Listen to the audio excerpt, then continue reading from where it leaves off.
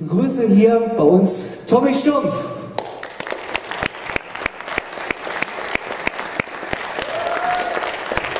Es geht irgendwie äh, erstmal um die Zeit, als Thomas an, anfing, elektronische Musik zu machen. Erstmal eine ganz profane Frage. Du hast ja bei der, beim KFC ausschließlich mit, mit Gitarre, Gitarre gespielt. Wie kam eigentlich äh, die Idee, plötzlich eigentlich fast komplett auf die Elektronik umzuschwenken? Ähm, Folgendes, ich habe, äh, als ich beim KFC gespielt habe, auch schon privat zu Hause mir äh, Synthesizer gekauft und damit rumgespielt. Aber mir fehlte noch ein paar entscheidende Gerätschaften und ein paar entscheidende Technologien, damit ich daraus auch tatsächlich Songs machen konnte. Deswegen habe ich einfach noch ein bisschen gewartet und als dann etwas Besonderes da war, was ich gleich zeigen werde, habe ich dann damit auch Musik gemacht. Das war's.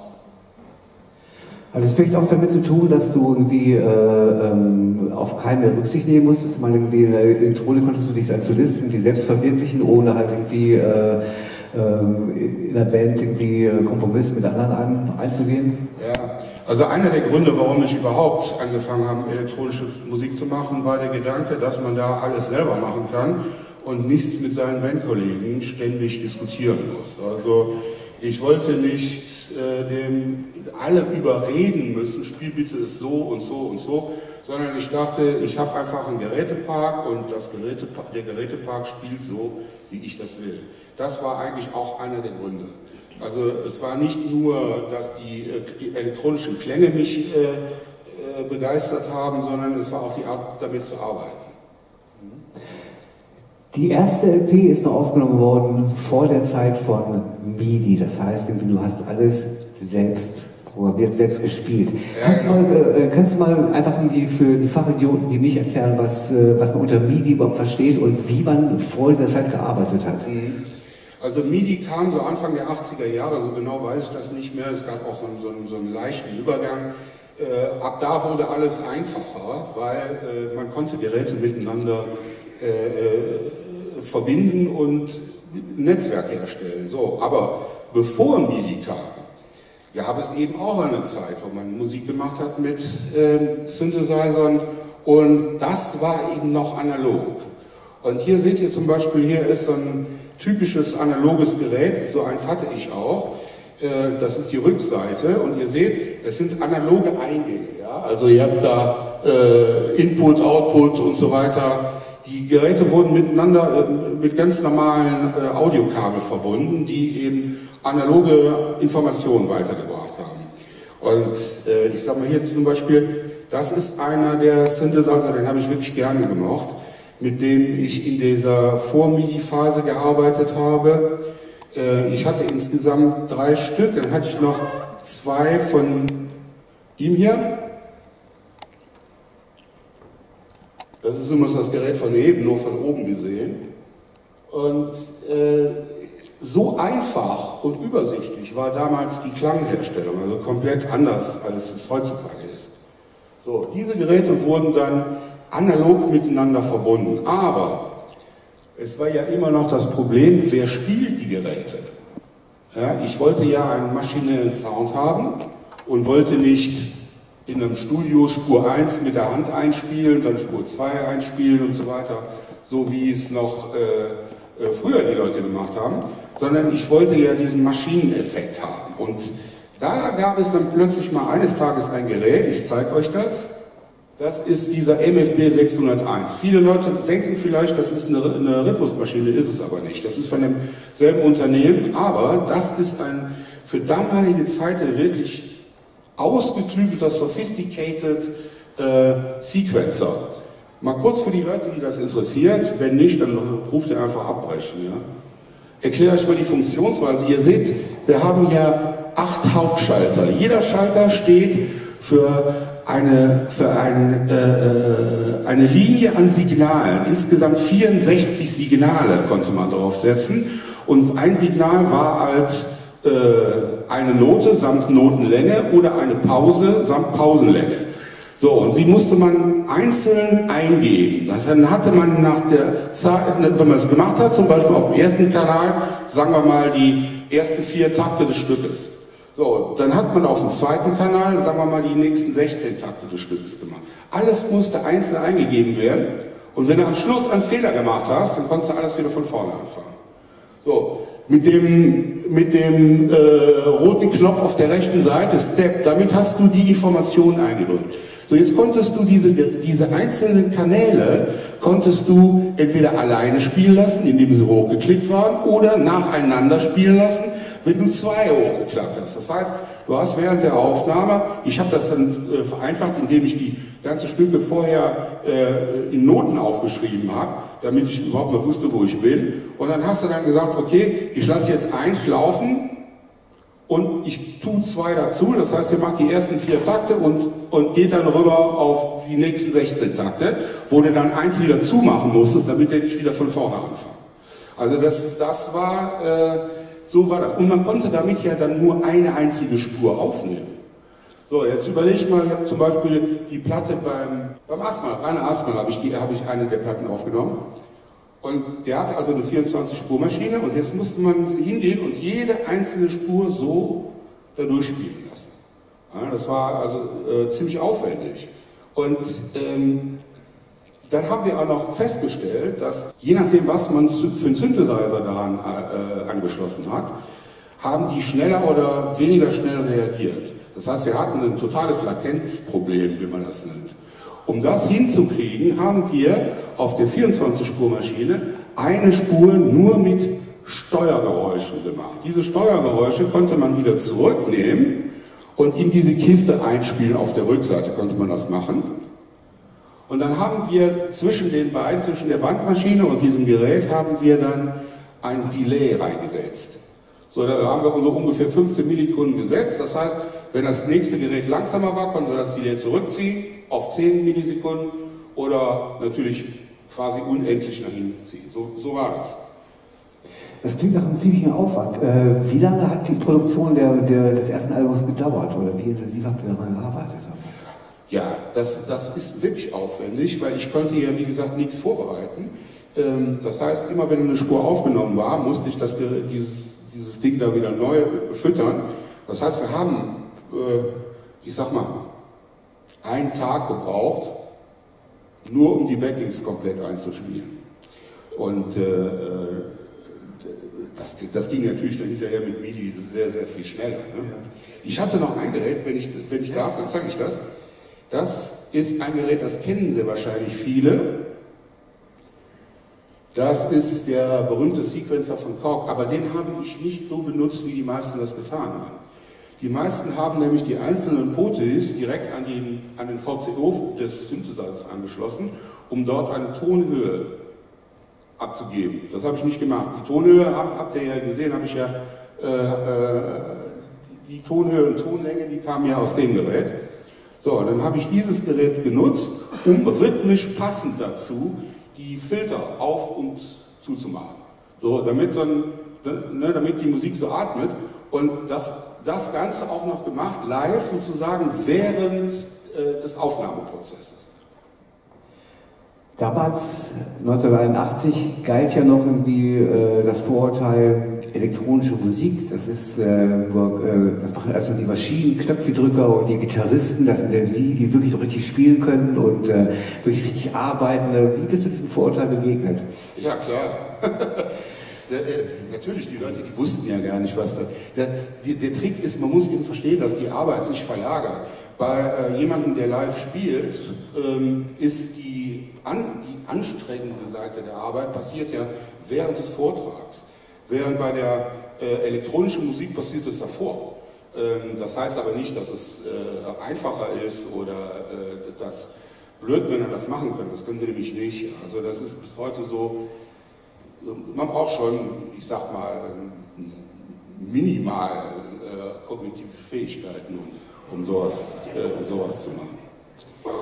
Ja, und dann mitten in der, darf ich? Ja, dann mitten in der analogen Phase kam dann, tadam, dieses Gerät rein. Das kennen Sie wahrscheinlich auch viele, das ist so der, der, das Kultgerät Mitte der 80er oder Anfang der 80er. Das ist der Emulator. Der Emulator ist im Prinzip, das war ein rein digitales Gerät und das konnte äh, Klänge aufnehmen und Klänge über eine Tastatur wiedergeben. Also erster Sampler. Und äh, das, war, das war großartig, weil es war auch immer noch vor MIDI, aber es gab eine Möglichkeit, auch dieses Gerät mit der Büchse von neben anzusteuern. Und das, da hatte ich das Glück, dass der, dass der Conny Plank, bei dem ich damals die Sachen aufgenommen habe, der hatte als, ein, als einer der ersten weltweit, hatte der so ein Teil. Und da haben, da haben beide uns vollkommen daran ausgetobt. Ab dem Moment haben wir dann alle, äh, äh, alles, was in der Rhythmik passierte, alle Geräusche, die irgendeinen, Rhythmus ausdrücken sollten, die haben wir quasi alle damit gemacht. Es gibt ein Stück von mir, das heißt, der letzte Idiot, da ist ein durchgehender äh, äh, Metallsound, den haben wir damals gemacht. Da sind wir in die Küche seiner Frau Christa gegangen und haben, und haben da ihre Bratpfanne genommen und haben da den, den Sound gesampelt.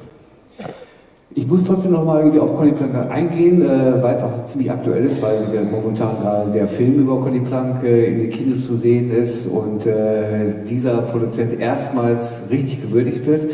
Ich habe schon eine Sendung für den NDR über, über Conny gemacht, ähm, das ist aber auch schon wieder fast 10, 12 Jahre her, als mir aufgefallen ist, dass alle meine Lieblingsplatten äh, als Produzentensiegel Conny Plank hatten.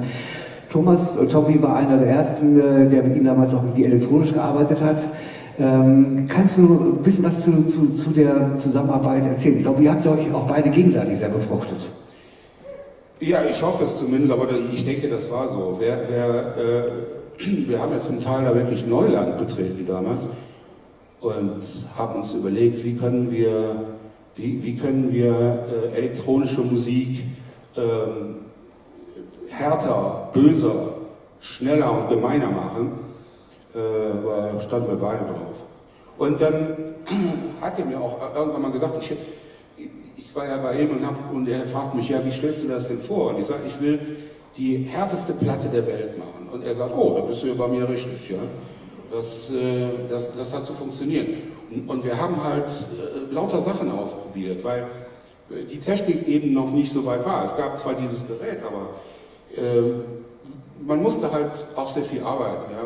Wir, sind dann, wir haben da so Experimente gemacht und sind mit den Mikrofonen durch, durch das Studio rumgelaufen, um den besten äh, Verstärkerklang zu bekommen. Wir haben dann die Analogbüchsen in irgendwelche ultra äh, äh, brutalen äh, Bass- und Gitarrenverstärker reingemacht, so dass, dass das richtig, dass, dass das gepumpt hat alles. Und, und da, äh, da war ja immer da war er immer zu haben. So, und das, da haben wir ja rumgespielt, wie zwei kleine Jungs. Ne? Damals, als die äh, zu spät der Scheiße, aber auch die, äh, die ersten Sachen, äh, die, die Maxi-Singles wie Kontergan Punk äh, oder Seltsames Glück rauskamen, war ja auch so die, die Keimzelle dessen, was man da später IBM nannte, so Bands wie äh, Klinik, Front of Hast du die damals schon beobachtet oder, oder lief das komplett abseits nee, davon? Nee, das, das, das, hab, das wusste ich nicht. Also, dass, ähm, dass da zeitgleich auch in Belgien ähm, so ähnliche äh, Entwicklungen stattgefunden hat, war mir komplett unbekannt. Ich, ich habe zum Beispiel eine meiner absoluten Lieblingsbands, Front to For Two, erst später kennengelernt. Also ich wusste gar nicht, dass es die gibt. Ich, hab, äh, ich denke, das ist einfach äh, gleichermaßen entstanden. Äh, die Leute haben halt mit den Geräten ausprobiert und da rausgeholt, was rauszuholen ist. Und das ist dann gleichzeitig in Brüssel und in Düsseldorf passiert. Ja. Okay, gehen wir den Schritt weiter zur MIDI-Technologie oder war das jetzt zu schnell? Genau. Nö, nö, also da zeige ich nur noch mal so, äh, wie ich früher aussehe. Das bin tatsächlich ich. Also ich sehe jetzt ein bisschen anders aus, aber hm. Ich zeige noch mal vielleicht ein paar Platten, die mit dieser Technik ja. gemacht worden sind. Also das sind die Platten, die, also oben links zum Beispiel bei, bei Conny Plank, also komplett analog plus den Emulator. Unten in der Mitte ebenfalls. Und oben in der Mitte und rechts komplett analog bei ähm, Rainer Hassmann ohne Emulator. Das, die, die Kisten, die, das sind die Stücke, die so ge gemacht worden sind, wie ich das erzählt habe, mit diesem komischen Kästchen, wo man da die Noten eingegeben hat. Ja, und dann kam natürlich, dann kam MIDI. Und MIDI hat ja einiges verändert. MIDI, erstmal äh, zur Erklärung, das war ein Standard, da haben sich alle großen, großen äh, Hersteller von Elektronikgeräten und von Instrumenten sich zusammengeschlossen, vernünftigerweise, und haben sich überlegt, wir machen einen gemeinsamen Standard, damit es nicht immer wieder dieses Problem gibt, das geht nur für das und das geht nur für das und so weiter, und haben diesen Standard MIDI festgesetzt. Der Beitrag der Firma Philips ist übrigens dieses Kabel. Also auch Philips hat einen Beitrag zum MIDI geleistet. Äh, soll ich noch ein bisschen mehr zum Anfang von MIDI sagen? Weil ähm, wer vielleicht damals gelebt hat oder von seinem Opa erzählt bekommen hat, das ist das Gerät, was die Revolution von MIDI tatsächlich möglich gemacht hat. Das Ding ist ein Computer aus den 80ern mit einem Megabyte Speicher, aber dieser Computer, es war ein Atari, der hatte einen irrsinnigen Vorteil, und zwar, wie ihr vielleicht den, in der Mitte auf der linken Seite sehen könnt, da sind die MIDI-Anschlüsse dran. Das Gerät hatte also von vornherein MIDI-Anschlüsse, sodass man kein zusätzliches Interface kaufen musste. Dadurch hat sich dieser Rechner verkauft wie gnadenlos. Ja? Und man konnte damit dann tatsächlich sehr viel einfacher Musik machen. Ich zeige euch mal das Programm, das ich damals benutzt habe. Das war Cubase. Klass, klassisches Programm, so wie es auch jetzt heute noch verwendet wird. Und äh, stellt euch vor, du konntest so kleine Kästchen da reinzeichnen oder du konntest das direkt auf, auf dem Keyboard drauf spielen. Du hattest nicht mehr die, die äh, Probleme, die, äh, von denen ich eben erzählt habe, mit, dem, mit der äh, weißen Büchse. Becky. Welche Alben sind äh, oder äh, welche Stücke hast du zuerst mit der MIDI-Technologie produziert? Ah, das ist mal eine gute Frage. Ja. Das muss. Also das Album, das, äh, das danach rauskam, war ja die Terror 2. Ja, genau, genau. richtig. richtig. Ja, die, die Terror 2 und die nachfolgende Platte sind naja. mit diesem System gemacht worden. Ja. Und ich habe das zum ersten Mal im Studio, also ich, das war ja natürlich schon mal wirklich ein gigantischer Fortschritt, Fortschritt, weil man konnte die komplette Komposition, das komplette Arrangement auch schon vorher zu Hause machen, man musste keine teure Studiozeit mieten. Das heißt, du kamst an und hast für jeden Song eine Diskette. Es gab Disketten. Für jeden Song hast du eine Diskette gehabt, die hast du dann geladen und hat den Song komplett fertig. Das heißt, das ging alles viel, viel schneller. So, und äh, ich glaube, der erste Song war Eliminator. Ja, das war der erste Song, den ich auf diesem, auf, auf diesem Gerät gemacht habe. So, und, und, auf, und dann war ja neben, der, neben der, äh, dem, dem Einzug der Computertechnik als Steuergerät, gab es ja noch Neuigkeiten in der Klangerzeugung, ja, in der Klangsynthese. Hier, das Ding war revolutionär. Das sieht jetzt aus wie so ein ganz normales Keyboard, was so in der Tanzveranstaltung verwendet wird. Aber, ich sag euch, das hatte eine vollkommen neue Art der Klangerzeugung. Alle waren immer noch daran gewöhnt, ja, VCO, VCA, VCF und LFO und dieses Zeug, also ne, die, alten, die alten Geräte mit den Knöpfen, wo eben habt ihr zwei davon gesehen. Aber das war natürlich phänomenal gut, weil das hatte viel mehr Möglichkeiten und, und, und das, das wurde komplett neu gemacht. Das, das war die, ähm, äh, äh, äh, wie hieß sie denn noch? Die FM-Synthese, Dankeschön. Frequenzmodulation, vielen Dank. So, und äh, großartig. Was man damit machen konnte, war absolut klasse. Ich habe da Nächte gesessen, habe Sounds gemacht, die ich dann Jahre später äh, auf Disketten gefunden habe. Die sind einmal um die ganze Welt gegangen und ich habe nie einen Pfennig dafür gesehen. So, das war der DX7. Das ist er immer noch, aber der ist so schön, ich zeige den euch nochmal von hinten. So, und jetzt habe ich noch zwei Fotos, und zwar, weil ich zwei davon hatte. Das ist der Waldorf Microwave. Der Waldorf Microwave war sozusagen die Taschenversion vom, äh, vom PPG, aber mir hat der, der, der Microwave viel besser gefallen. So, da, in dieser MIDI-Zeit, da haben wir halt mit diesen Geräten gearbeitet. Da habe ich gearbeitet halt mit Peter Krieg Und mit Matthias Black, der übrigens auch hier ist. Ich weiß nicht, ob der überhaupt hier ist irgendwo. Er ist da. Und äh, äh, wir haben da äh, mit diesen Geräten quasi alles gemacht. Wir haben dann auch zum Schluss gesagt, wir, wir beschränken äh, unsere Gerätepark absichtlich ein, damit das nicht ausufert. Weil selbst wenn es mehr aufwendiger war als heute, du konntest ja schon damals alles machen. Also alles. Ja? Mind is limit. Und äh, da fängst du natürlich irgendwann mal an und, und, und machst zu viel. Sehr wichtiges Gerät damals auch war dieses hier. Das ist, äh, der hat dann den äh, Emulator ersetzt, war vom Klang her viel besser, viel besser zu bedienen und hatte tausend Schnickschnacks besser als der, als eben. Es fällt ja auch auf, wenn man zum Beispiel Alben wie äh, die Terror 2 und das nachfolgende Album äh, Ultra ähm, äh, vergleicht auch mit Terror 2, äh, äh, wird unendlich viel noch experimentiert irgendwie und irgendwie äh, ähm, Sounds gefunden, wie zum Beispiel der Blindenstock auf äh, La Loire zum Beispiel. Ja, genau. Und ähm, dann wurde das irgendwie doch irgendwie zunehmend stringenter. Das heißt, irgendwie, ich wollte, ich erwähne das deshalb, weil du sagst, irgendwie, die Problematik ist ja, dass man wirklich äh, durch die neue Technologie auch die 80.000 Möglichkeiten hat und äh, ähm, die Gefahr, dass man sich daran verliert, natürlich sehr, sehr groß ist. Und äh, nicht, dass die Terror 2 verloren klingt, gar nicht, aber äh, danach hast du gleich wieder, sagen wir mal, irgendwie etwas überspitzt gesagt, die Kurve gekriegt und äh, doch äh, ziemlich viel ähm, auf, auf den Punkt produziert. Ja, äh, das ist genauso gewesen. Ähm, durch die, durch die quasi nicht limitierte Anzahl an Möglichkeiten haben wir wirklich angefangen, damit die Produktion überhaupt äh, weitergeht, haben wir angefangen, uns zu beschränken. Also wir haben gesagt zum Beispiel nur 75 Bassdrum-ähnliche Sounds oder äh, nur 80 Snare-ähnliche Sounds. Ja. Wir haben ja nie, nie richtige Schlagzeug verwendet, auch, auch keine und auch keine äh, Schlagzeugcomputer.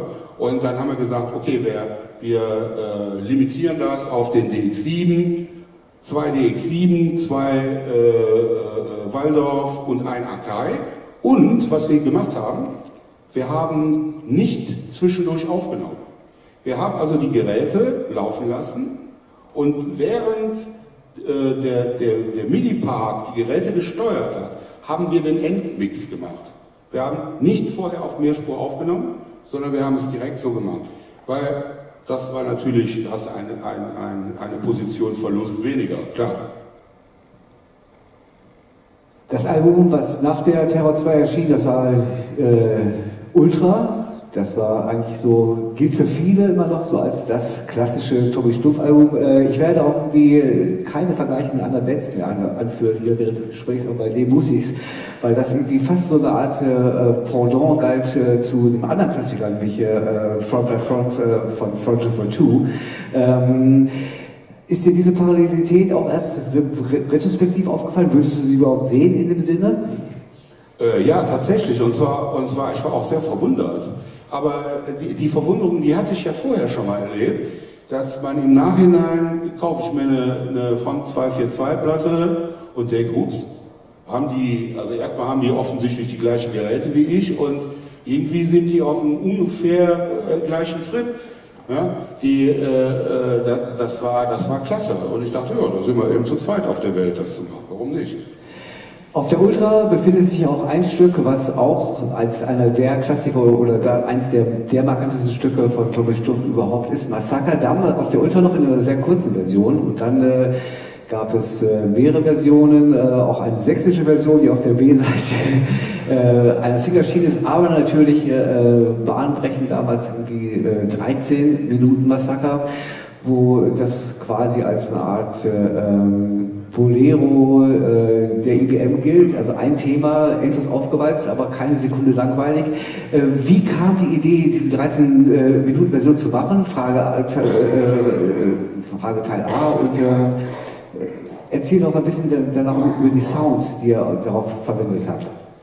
Ja, also die Idee war gar nicht von mir, sondern von einem Fan von mir, der mir sagte, er fände Massaker so toll, ich sollte doch da eine wirklich lange Version von machen. Und ich habe mir so überlegt und, und dann habe ich das auch mit dem, mit dem Matthias besprochen. Und sagen wir, ja klar, das machen wir. Und äh, das, das, war übrigens mein einziger Hit. Also äh, ich bin ein One-Hit-Wonder. Ich habe außer 13 Minuten Massaker noch nie einen richtigen Hit gehabt. Das war mein einziger Hit und das war eigentlich gar nicht geplant. Also, wir haben uns hingesetzt und haben überlegt, okay, womit fangen wir an? Ja, äh, wir fangen mit der Länge an. Es soll eine lange Version sein. Ja, gut. Dann haben wir so Zahlen in den Raum geworfen, sieben Minuten, ne? äh, zwei Stunden. Und äh, dann äh, haben wir gesagt, 13 ist eine gute Zahl, das äh, finden die Leute bestimmt cool. Ja, dann haben wir angefangen zu überlegen, wie können wir diese, diesen Minisong auf 13 Minuten ausweiten. Ja, dann haben wir uns alle nochmal Bolero angehört und dann gesagt, oh, das ist ja eigentlich relativ einfach. Du fängst mit einem Teil an, dann tust du ein zweites Teil dazu, dann tust du ein drittes, dann nimmst du das erste wieder raus, dann fängst du mit dem zweiten Teil an und so weiter, bis du 13 Minuten fertig hast. Zwischendurch änderst du ein bisschen den Beat und dann fängst du wieder nochmal von vorne an, machst zweimal Crescendo, Ende der Geschichte. War also eigentlich relativ einfach. Und dann haben wir uns aber überlegt, ja, was machen wir? Wir müssen da für diese, für diese Nummer müssen wir noch was. Das ist das, worauf du hinaus willst. Ne? Äh, wir, wir, wir, brauchen dann noch was anderes als nur diese blöden Blutgehirn-Massaker-Worte. Und dann haben wir überlegt, ja, weißt du was? Wir lassen das von einem kleinen Mädchen singen. Ja, das wird die Leute richtig schocken. Hat auch funktioniert. Und dann haben wir die, die Nichte von Matthias, äh, die weiß, sieben Jahre alt oder so, die hat dann, äh, die hat das dann gesprochen. Wir, wir waren dann bei ihr und äh, haben sie äh, das sagen lassen. Jetzt haben, wir uns, jetzt haben wir uns überlegt, wir können das arme Mädchen nicht einfach sagen lassen, Blut, Gehirn, Massaker. Vielleicht traumatisiert die das. Also haben wir mit ihr Lesen geübt, indem wir ganz viele Worte aufgeschrieben haben. Ja, Schmetterling, Butter, Reifen, Auto, Armleuchter und zwischen den ganzen Worten eben dann auch Blut, Gehirn und Massaker nicht direkt hintereinander. Und das Wort Massaker kannte sie nicht, sondern sie sieht das zum ersten Mal und fängt an zu lesen, Massa, Mascha, Mascha, Massaker. Und das war natürlich der Hit, den haben wir dann genommen und haben das auf die, auf die Platte mit draufgetragen. Ne? Das, das ist eben die, das haben, und das wurde tatsächlich ein Hit. Fragt eure Großeltern, die können sich daran erinnern. Also viele andere kleine Samples. Ich glaube, so das Zerreißen eines Papiers zum Beispiel. Das Zerreißen eines Papiers. Ja, genau. Ja, ja, wir haben da auch wirklich durch, wir, wir waren, sind da ziemlich durchgedreht. Wir haben dann als Rhythmuseffekt, haben wir zum Beispiel so ein, so ein Zerreißen von, von Blatt Papier genommen. Dann haben wir das Öffnen einer Bierflasche genommen. Und zwar so eine große Altflasche, ein Liter, und stellte sich heraus, äh, dass wenn du die zum ersten Mal öffnest, das beim zweiten Mal nicht mehr so klingt. Du musst das beim ersten Mal erwischen. Das heißt, du musst erst die ganzen Einstellungen mit dem Mikro und einpegeln und so bla bla bla bla bla und dann machst du vielleicht noch Fehler. Plopp, war nicht so gut. Dann musste man die Flasche erst leer trinken und dann musste man eine zweite nehmen und das nochmal von vorne aufnehmen. Das war echt anstrengend, Leute. Und, und dann haben wir das gehabt, ne? das hier vorstellen, ja nicht so gut, von sonst nochmal. Und dann haben wir dieses Geräusch genommen und das ist da äh, auch irgendwo, ich habe jetzt vergessen, wo, irgendwo in so, in, in so einem Rhythmus mit drin. Ja. Nach der Ultra kamen noch zwei Alben raus, wie die Trivialschock und äh, die Alle sind tot. Die Alle sind tot hat eine produktionstechnische Besonderheit.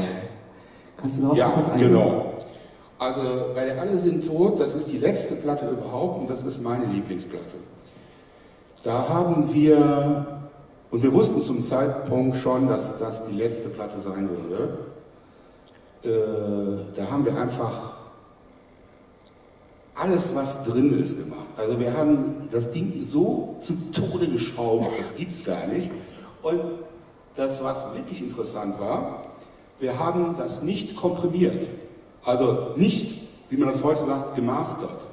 Kein Loudness-Faktor, nichts. Komplette, komplette äh, Dynamik ist drin.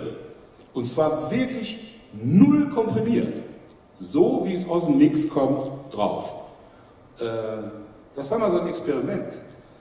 Die Sache ist, der Nachteil, dieser Methode ist, dass die CD im Vergleich äh, viel leiser klingt. Wenn du dir jetzt da äh, CD anhörst, dann nimmst du die raus und tust die alle sind tot rein, dann klingt die viel leiser. Ja? So und, und ne, bedingt dadurch. Ich, ich persönlich hatte gedacht, oh, das wird nicht schlimm sein, weil die Leute wissen, dass sie einen Regler haben, um es lauter zu hören. Das war leider nicht der Fall. Die, deswegen war das, das ist merkwürdig. Ne? Du machst eine Platte und machst sie leise, weil der Vorteil bei der, bei der Methode ist ja, dass du es eigentlich sehr viel lauter hören kannst. Dadurch, dass das nicht so rumbummelt, äh, sondern da, dass das richtig klar ist, kannst du das Ding aufdrehen bis zum geht nicht mehr, dass in der Nachbarstadt die äh, Sirenenalarm hochgehen. Aber das machen die Leute nicht. Die kommen nicht auf die Idee, oh, da ist ein Volume-Ding, das könnte ich jetzt mal drehen. So, Pech gehabt. Alles in Tod war die letzte Platte, die du aufgenommen hast für ganz lange Zeit. Es gibt ja viele Künstler, die. Äh, ist. Ja, wir haben noch ein bisschen Zeit, alles gut. Oder äh, bin ich zu schnell? okay. Ähm, viele Künstler äh, sagen ja, sie machen Schluss und äh, ähm, ein paar Wochen später kommt das Comeback. Ich glaube, Anne Clark ist dafür ein ganz gutes Beispiel gewesen, die hier gestern aufgetreten ist. Ähm, bei Tommy habe ich auch gedacht, irgendwie, okay, vielleicht macht er mal ein oder zwei Jahre Schluss. Ähm, er hat es nicht gemacht. Er hat, hat wirklich Wort gehalten und äh, hat konsequent äh, ähm, die Musik für ja, fast Jahrzehnte an den Nagel gehängt. Kannst du mir mal sagen, warum du eigentlich irgendwie damit aufgehört hast? Ja, äh, ich hatte keine Lust mehr. Ähm, also erstmal hatte ich keine Lust mehr aufzutreten, was man unbedingt machen muss, wenn man Platten verkaufen will, auch heute noch. Ähm, dann hatte ich keine Lust, weil ich war ja damals schon mit beschäftigt, damit äh, Computer zu programmieren und äh, mich hat dann, was das Musikmachen angeht, immer mehr äh, interessiert die technische Seite und immer weniger die musikalische Seite. Und dann äh, hat das Leben mir ja eine gute Chance gegeben, auf, äh, auf ein ganz anderes Gebiet rüberzugehen. Und das habe ich dann auch, äh das habe ich dann auch gemacht. das war für mich auch wirklich, das war gut, dass es vorbei war, ehrlich. Also ich hatte einfach keine Lust mehr. Das war nervig. Und ja, dann habe ich die zehn Jahre ungefähr, ne? zehn Jahre ungefähr ganz was anderes gemacht, bis 2014 oder 2015. Nee, 2014. Ja. ja. Und was war der Kick, der Anlass, wieder neu zu starten? Ja, das kann ich dir sagen. Und gleichzeitig äh, kann ich ja schon mal hier das Bild machen, was jetzt kommt. Doch so. Ja, pass auf. Was war nochmal die Frage? Was die Initialzündung war, wieder Musik zu machen? Ja, genau. Also die Initialzündung war eine Geschichte, die auch nicht so ganz kurz ist. Da der, einer der Veranstalter von dem Festival, wie heißt das noch? Äh, Amphi-Festival in Köln, der, äh, der hatte mir zehn Jahre lang jedes Jahr eine E-Mail geschickt und mich gefragt, ob ich nicht auftreten wollte. Und zehn Jahre lang habe ich ihm immer angerufen, vielen Dank, das ist sehr nett, aber ich mache keine Musik mehr. So, und dann hat er es immer wieder versucht, wieder versucht. Und 2014 äh, kriege ich wieder so eine E-Mail und erzähle meiner Freundin davon und die sagt, was ist das Amphi-Festival? Und ich kannte es auch nicht. Und dann sage ich, ach ja, wir können uns das ja mal äh, angucken. Und dann habe ich ihm geantwortet, äh, ja, ich weiß nicht so genau, aber schick mal zwei Karten, ich gucke mir das mal an. Ja, und da waren wir dann da und haben uns das alles anguckt. Und dann habe ich mir überlegt, oh Gott, das ist ein bisschen langweilig alles und so. Und dann laufe ich so durch die Gegend und entdecke jemanden, der gleich auch kommen wird, nämlich diesen Kerl hier, das ist der Eisenmann. Eisenmann, komm rüber.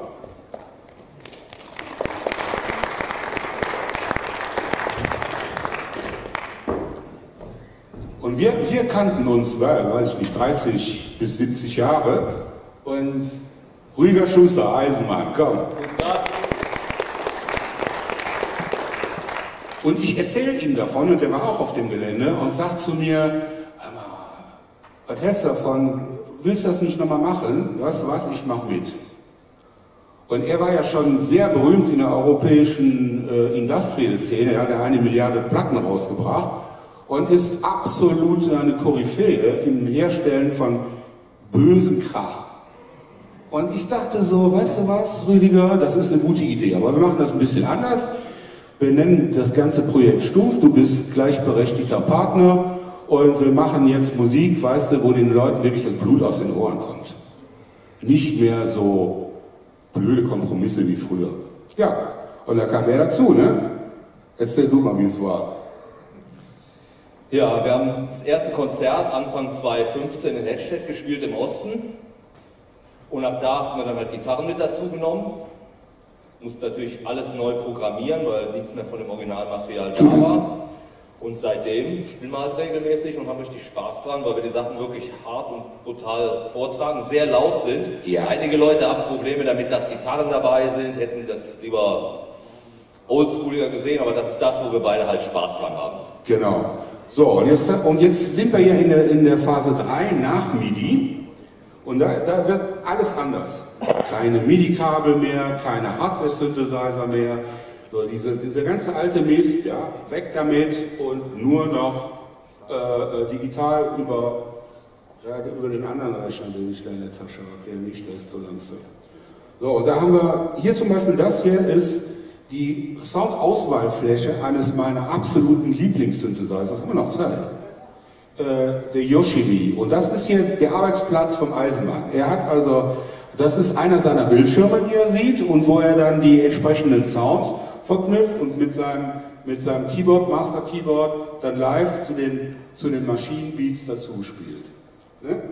Ja, der große Vorteil ist, du brauchst, du kannst alle Sounds, wie sie da sind, noch ganz prima miteinander kombinieren. Durch jede Kombination entsteht noch ein krachiger Sound, wieder ein anderes, irgendwas, was flirt, was so schnarzt und so. Du hast endlose Möglichkeiten live, so wird das Set nie langweilig, du kannst variieren. Mhm. Also das heißt, wir präsentieren die Sachen, abgesehen von den Beats, ist es wirklich Elektronik, die live gespielt wird so soll es halt auch sein, weil wir hatten von vornherein keine Lust zu sagen, wir spielen mit einem Playback. Ja, wir, wir, wollten uns ja auch nicht langweilen auf der Bühne. Ja. Das kommt ja immer schnell rüber, ja, wenn ihr dann äh, äh legt da irgendein so Idiot eine CD ein, wie zum Beispiel bei äh, Michael Wendler. Über Michael Wendler wird wenig geredet, obwohl der Mann ist auch ein Elektronikmusiker. Ja? Ihr müsst euch mal die CDs von dem anhören oder weiß nicht, ob der auf Vinyl macht, keine Ahnung. Das ist reine elektronische Musik. Die klingt nach elektronischer Musik. Und dazu singt Michael Wendler. Und der ist mega schlechter. Also speziell live. So, und jetzt müsst ihr euch vorstellen, bei Michael Wendler steht Michael Wendler auf der Bühne und nur er. Und der Kerl am Mischpult, der tut eine CD rein, wo Musik rauskommt, minus der Stimme von Michael Wendler.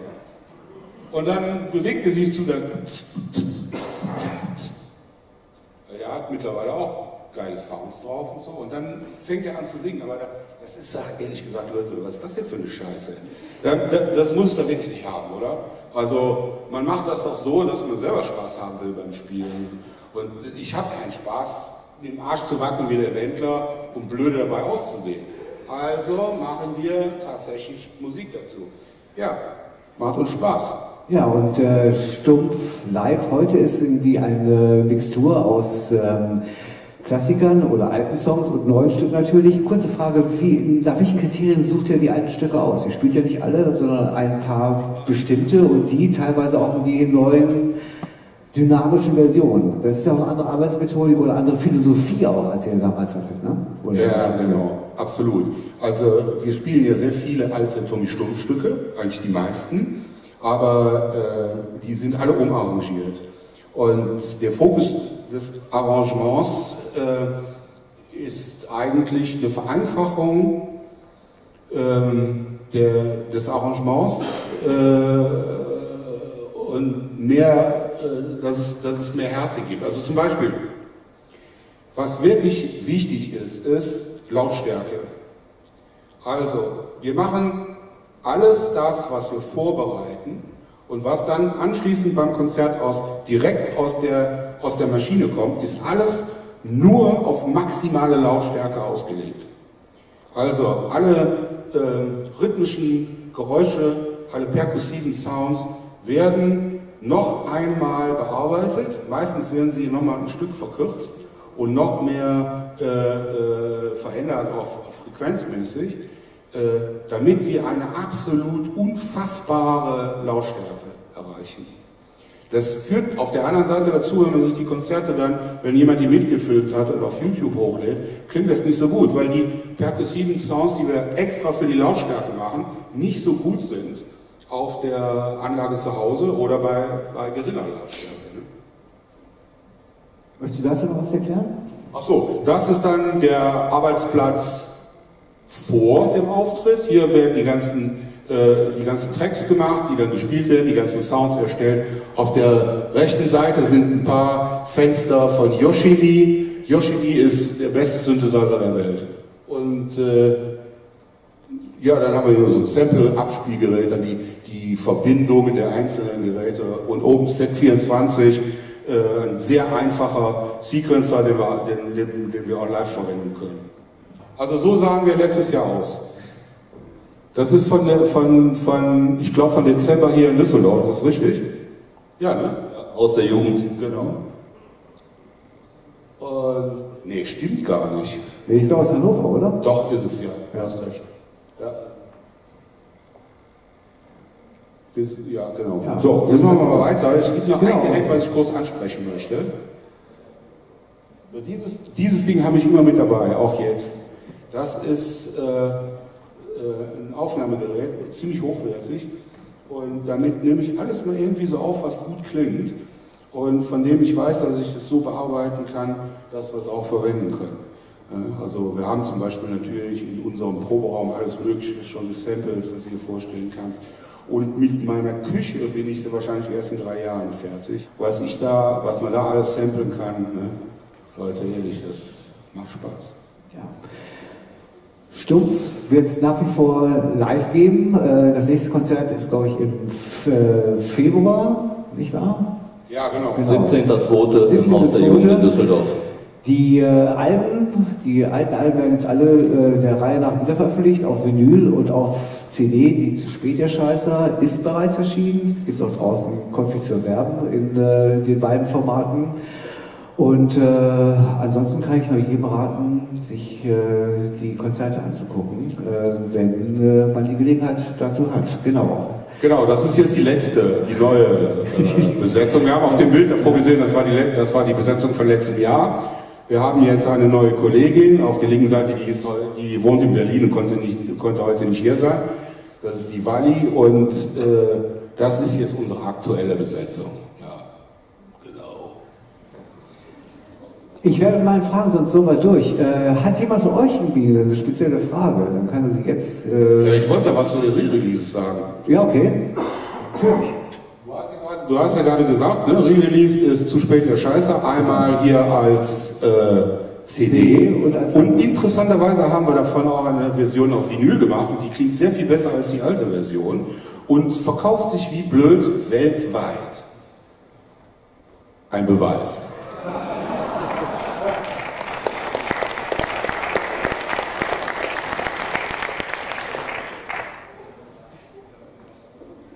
So sieht dann die, äh, äh die nächste aus.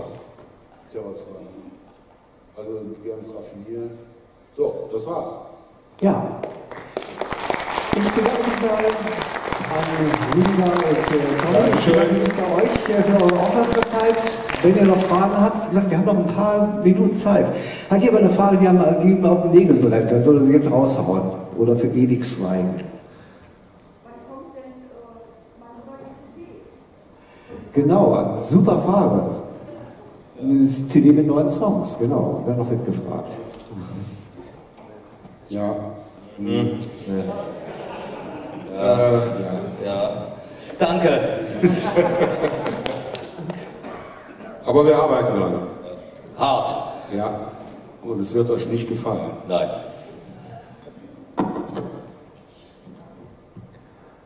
Äh, ah, nee, hier oben, ein Kollege.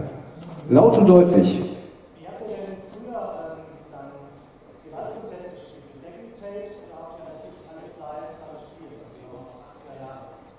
Also ich glaube bei fast jedem Konzert eine andere, eine andere Art. Wir haben alles Mögliche ausprobiert. Wir haben sogar mal, wir hatten einen DAT-Rekorder, der drei Spuren hatte. Das war ganz merkwürdig, aber da hat tatsächlich drei Spuren. Dann haben wir ein Backing drauf, das war wirklich extrem minimalistisch und haben dann die dritte Spur verwendet, um äh, eine Steuerspur für die MIDI-Geräte zu verwenden. Das ist, ich habe vergessen, wie das heißt. Das ist dieses, äh, äh, dieser Standard für so Filmleute. Wie heißt dieser Code nochmal? Ja, ja, ja, ja, genau. So, und das, und das haben wir sogar probiert, aber das lief auch nicht gut. Also, ich, ja, unfassbar, ja. Wir haben manchmal den Atari bei gehabt und so versucht, alles Mögliche live zu machen. Dann haben wir, äh, ja, Rebox 8 früher noch.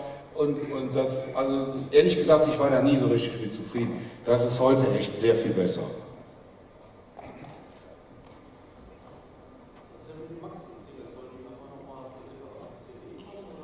Ja. ja, ja. Die werden wahrscheinlich auf einem separaten Album zusammengefasst. Das ist so grob der Plan bis jetzt. Ja. Genau. Genau. Ich habe Ja. einen 13 Minuten Massaker. Ja. Äh, ich meine, mich entsinnen zu können, da ist ja auch so ein Textbereich bei, der so ein bisschen ostdeutsch klingt. Ja, das ist die, die spezielle O-Version. Ja. Ja, die, das ist nicht 13 Minuten Massaker, das ist dann irgendwie, glaube ich, 6 Minuten Massaker. Ja. Und da äh, redet ein Sachse. Habt ihr euch da jemand speziell genommen oder? Ich weiß nicht, ob ich es verraten darf. Ja. Er wird das Geheimnis mit in sein Grab nehmen. Okay. Gut, ihr Lieben, wenn sonst keine Fragen sind, dann bedanke ich mich nochmal an Tommy, an Rüdiger und an euch fürs Zuhören. Schön, dass ihr hier wart und äh, weiterhin viel Spaß auf diesem wundervollen Festival und äh, ich muss leider los sage schon mal Tschüss. Bis zum nächsten Jahr. Tschüss.